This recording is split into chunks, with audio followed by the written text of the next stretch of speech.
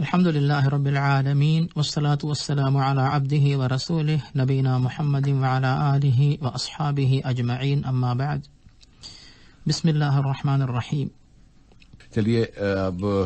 اس وقت ان کو جو انہوں نے نماز کے حوالے سے اپنی اہلیہ سے دھمکی دی تھی اور خاص طور پہ اس حوالے سے کہ شادی سے پہلے کسی اور کے ساتھ ان کو کوئی محبت تھی اور بعد میں پتہ چلا اور وہ اب ٹیلی فون کے ذریعے ان کے آپس میں کوئی بات چیت ہوتی ہے تو یہ ان کو روکتے ہیں اور ان کو اسی اس میں طلاق، ایک طلاق دے چکے ہیں۔ کیا انہوں نے صحیح کیا؟ اس سے اس سلسلے میں پہلی بات، بے شک نماز کی پابندی جو ہے، ان صلاۃ کانت المؤمنین کتاب موقوتا۔ صورت النساء ایک سو تین میں اللہ تعالیٰ کی طرف سے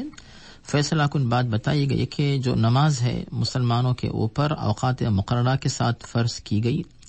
تو مرد، خواتین سب کے لیے نماز جو ہے وہ لازمی ہے۔ یہ ہو گئی پہلی بات۔ اور نماز کے بارے میں اسلام جو ہمیں تعلیم دیتا ہے، تربیت دیتا ہے وہ یہ ہے کہ بچوں کو بیٹا یا بیٹی بچپن سے ہی ان کی جو ہے، عادت نماز کے بارے میں ڈالی جائے،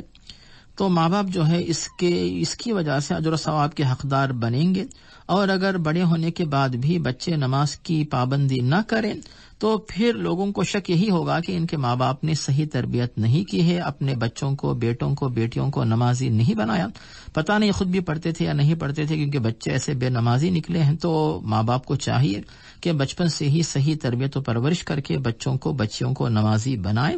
اور بڑے ہونے کے بعد یا پھر چونکہ موصف کہتے ہیں ان کی وائف جو ہے نماز نہیں پڑھتی، تو آپ جو ہے اس کو نماز کے بارے میں بار بار سمجھاتے رہیں اور ثواب حاصل کریں۔ اور رشتہ توڑنے کے بجائے رشتہ جوڑ کر اگر آپ اس کو نمازی بناتے تو اس پر آپ کو زیادہ ثواب حاصل ہوتا۔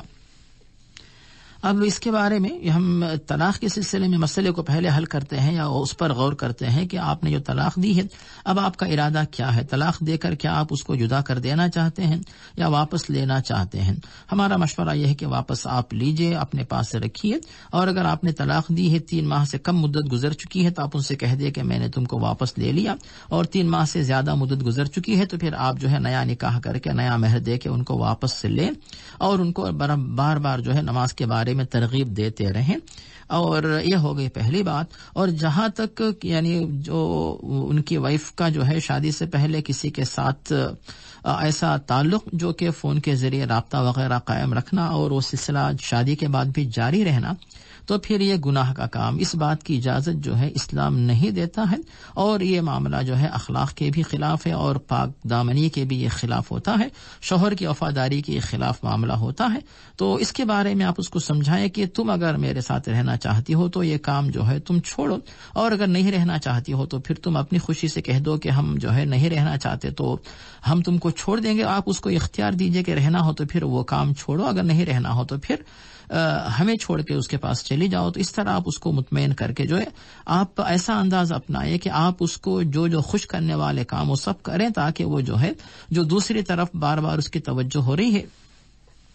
تو وہ توجہ ادھر سے ہٹ کر صرف آپ کی طرف تو اس کی توجہ مکمل ہو جائے اور ایک اور اہم مسئلہ کہ آپ اپنے ملک میں جانا چاہتے ہیں لیکن ماں باپ جو ہے وہ آپ کو روکتے ہیں۔ وجہ یہ ہے کہ آپ یہاں رہیں گے تو ماشاء اللہ کچھ آمدنی زیادہ ہوتی ہے، ملک میں چلے جائیں گے اتنی آمدنی نہیں ہوتی۔ لیکن آپ کے لیے پورے گھر کا ایک اہم مسئلہ ہے کہ آپ کو اپنے گھر کو بچانے کا جو معاملہ ہے کہ حلال کمائی کمانے والے آپ کے ملک میں بھی ہیں اور آپ کا گھر سدھر جانے کے بعد، آپ کی بیوی ٹھیک ہونے کے بعد دوبارہ پھر آپ کچھ اور کمائی کے لیے یعنی دوسرے جگ، دوسری جگہ جانے کے بارے میں سوچ سکتے ہیں، لیکن اب اس وقت جو بات ذہن میں آتی ہے کہ آپ فوری اپنے ملک میں جائیں، وہاں پر حلال کمائی کے لیے دعا کر کے کوئی مناسب راستہ، مناسب طریقہ اپنائیں، اور جب آپ اپنے گھر پہ رہیں گے تو پھر آپ جب زیادہ سے زیادہ وقت آپ کی بیوی کے ساتھ گزاریں گے، تو پھر وہ کسی اور کے ساتھ فون پر بات کرنا یا پھر کسی اور کے ساتھ رابطہ رکھنا، ایسی کوئی بات، ایسی کوئی غلطی اس سے نہیں ہوگی، اور آپ کو اطمینان بھی ہو جائے گا، پھر طلاق کی نوبت سے نہیں آئے گی۔ جی، جسے